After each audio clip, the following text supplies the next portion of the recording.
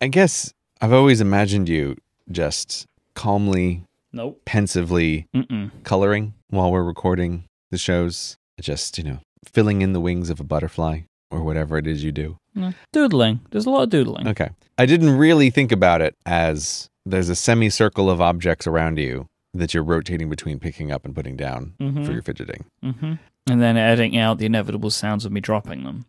Right. I drop my phone every few days at least. I'll drop it somewhere, and and like, on the way down, you try and catch it, and what you actually do is hit it, and it just turns into a death spiral as the thing is now falling and spinning as it lands. So, Right. is Grey ever going to come back to Twitter? What is it? What is it? It's August now. Is that right? I guess it's almost a year Yeah, that I've been away because I, I went away in September. what are you laughing at? away. It's like, oh, there's all these people in this room talking. I'm gonna step outside for a little while, guys, and I'll I'll, I'll be back in two weeks, maybe three months. Oh, actually, now it's almost a year. I mean, Myke, do you think do you think I'm missing anything important here? Um,